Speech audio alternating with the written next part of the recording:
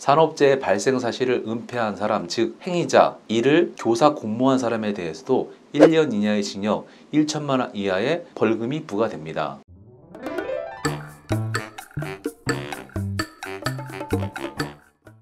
안녕하세요. 노알람 이덕조 노무사입니다. 회사는 산업재해 발생 시 산재 처리로 인해 발생되는 회사의 법적 리스크로 인해 재해자에게 산재보험으로부터 받는 보험급여 이상의 합의금을 제한하고 산업재해를 은폐하는 경우가 많이 있습니다. 오는 이러한 공상합의 산재 미신고로 인한 산재 은폐 발생 시 회사에 어떤 법적 리스크가 있는지 자세히 알아보는 시간을 갖도록 하겠습니다. 회사에서는 안전사고로 인해 재해 발생 시 산재 처리로 인해 발생될 수 있는 회사의 법적 리스크 때문에 재해자에게 산재보험에서 나오는 보험급여 이상의 보상과 치료기간 중 편의 제공할 것을 제한하면 근로자는 회사가 제안한 합의 조건을 수용한 후 산재보험을 처리하지 않을 것을 합의하게 되는데 이것을 통상 공상합의라고 합니다.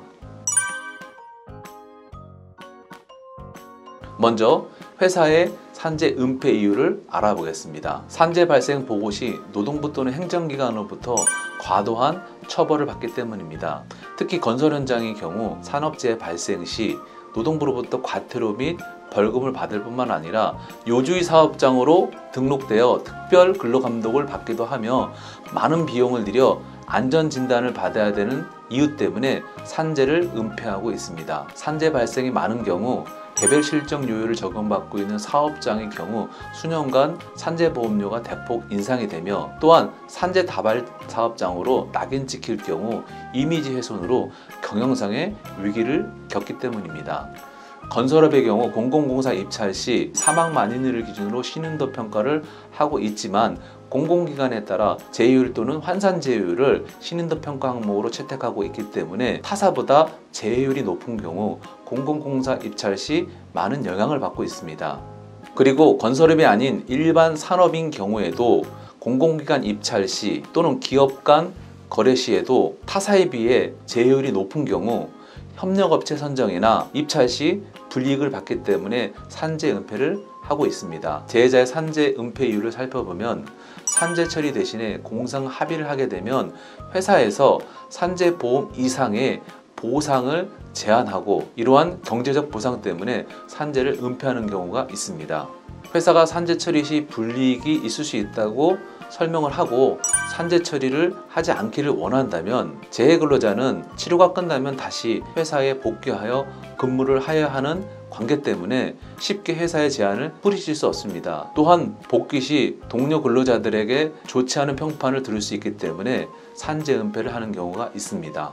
불법 체류자가 사업장에서 산업재해 발생 시 산재 처리를 하게 되면은 산재 처리가 종료된 후 자국으로 추방되게 됩니다. 또한 신용불량자의 경우 산재 처리로 인해 발생되는 보험급여를 채권자가 압류할 수 있다는 염려로 인해 회사의 공상 합의를 제한하고 산재 은폐를 하는 경우도 있습니다.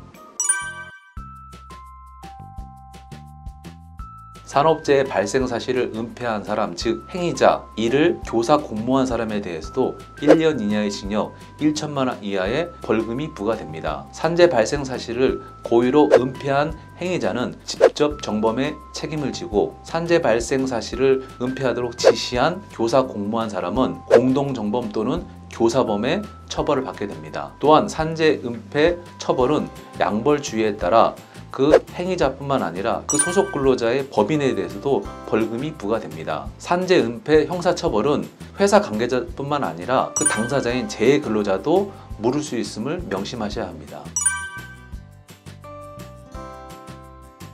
산업안전보호법에서는 업무상 사망의 경우 지체 없이 3일 이상 휴업을 요하는 경우에 대해서는 1개월 이내에 그 근로자를 고용한 사업주가 관할 노동부에 산업재해조사표를 제출하도록 하고 있습니다. 그렇지 않습니다. 산재 은폐란 산재 발생을 노동부에 신고하지 않고 고의로 숨기는 것을 말하며 대표적으로 공상합의가 이에 해당이 됩니다.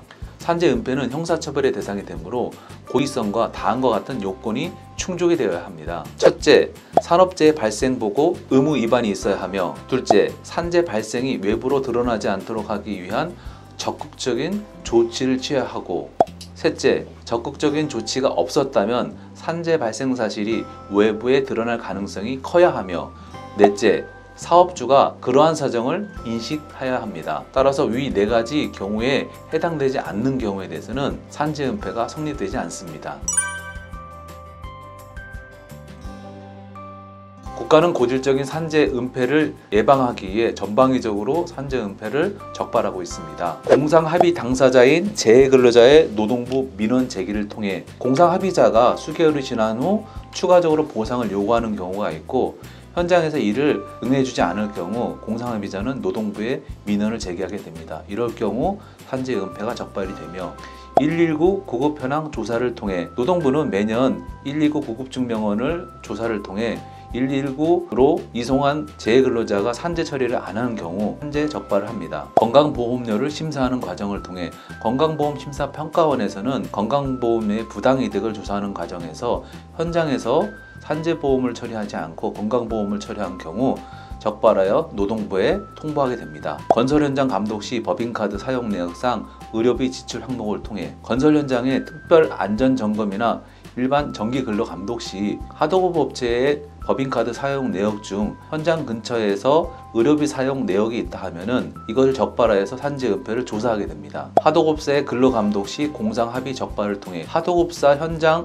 안전 점검이나 현장 근로 감독을 통해 근로 감독관이 회사의 서류를 검토하던 중 공상 합의서가 발견되는 경우가 있고 이를 통해 산재 은폐가 적발되기도 합니다. 원도급사와 공사비 정산 불만을 가진 하도급사의 신고를 통해 하도급사가 공사비 정산의 불만을 품고 원청사에 공사비 적정 금액을 요구하고 이를 응하지 않을 경우에는 그동안 공상 처리한 것을 노동부에다 신고하는 경우가 있습니다. 회사의 불만을 품은 근로자가 산재 처리하지 않고 산재 은폐한 건들을 노동부에다가 신고하는 경우가 있어 이때 산재 은폐로 적발되기도 하며 불법 체류자인 경우 동료 간의 심한 감정 싸움으로 인해 해코자를 할 목적으로 산재 은폐를 신고하는 경우가 있습니다. 산재 근로자의 실손보험 처리 시 보험사의 민원 제기를 통해 근제보험 미처리 불만으로 인한 민원 제기 시 국회 국정감사를 통해 노동조합의 신고를 통해 산재 은폐가 적발되고 있습니다.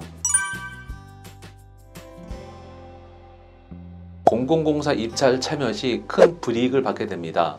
조사를 통해 산재 은폐가 확정이 되면 담당 근로감독관은 해당 회사에 대해서 과태료 부과 처분을 하게 됩니다. 그리고 원도급사를 산재 은폐 대상 사업장으로 전산에 입력하게 되며 노동부 본청은 이를 조달청에 통보하게 됩니다.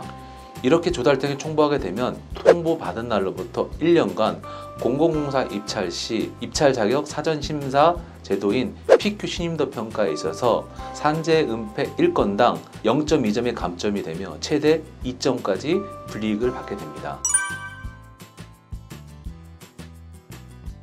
이런 경우 노동부 조사 시 산재 은폐에 가담하지 않은 것을 적극적으로 입증하셔야 됩니다.